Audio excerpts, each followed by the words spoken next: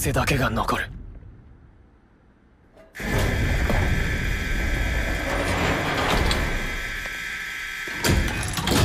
今日はよろしく頼むよ。楽しい実験にしよう。忘れもしない。この獲物を見る視線やっぱり嫌がった。覚えてるよ。ちょくちょく見かけたよね。ここで。当時から遊びたかったよ。立派になってしまってもっと痩せてて青っちろい時に食いたかった。なんで子供の時にやらせてくれなかったんだ。せだって俺とそう変わらないじゃないか。まあ今でも十分弱そうだああ完全に大人の力だ。どうして弱いままでいないかな。男ってのは。始めていいか？ああ草壁君も頼むね。このクソ野郎ぶっ飛ばしてやる。深刻な肺病こんな黒煙をまき散らして大丈夫なのか？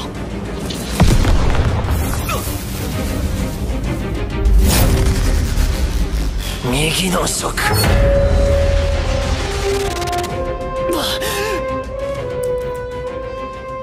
何が起こった？振られた拳には当たっていない。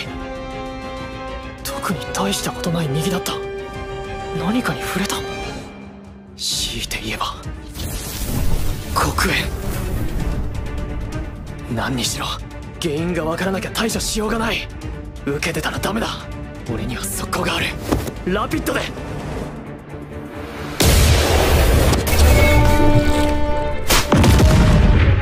反応された。いやもう一回だ。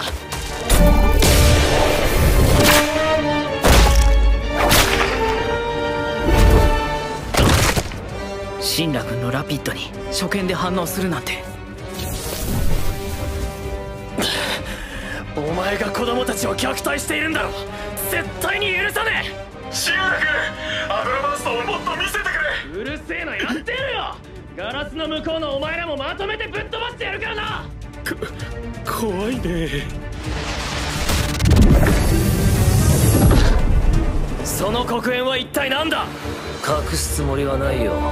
言ったところで対処なんてできないだろう。この黒煙は俺の感覚とリンクし些細な揺らぎも感知する。君の速攻にもそれで反応したんだよ。それに子供をぶっ飛ばすのは楽しいぞ。よく飛ぶしな。お前も一度やってみるか。叫んだ反応が追いつかないくらいの連撃で攻撃してやる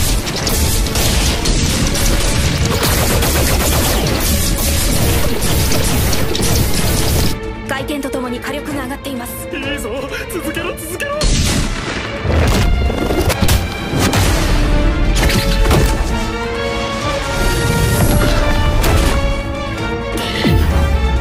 煙が固まっていく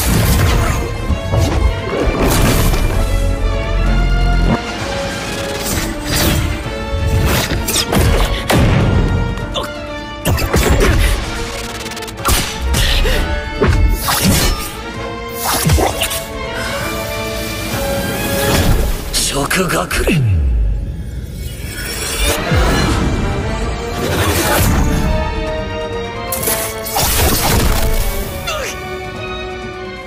煙を集めて武器を作ったのか。まだ元気だろう？これくらいで壊れる方がちょうどいいんだが黒野君その辺にしておこう。十分にデータは取れたよ。お？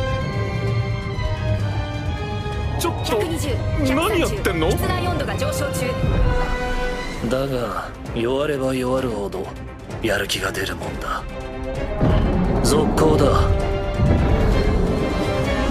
楽しもう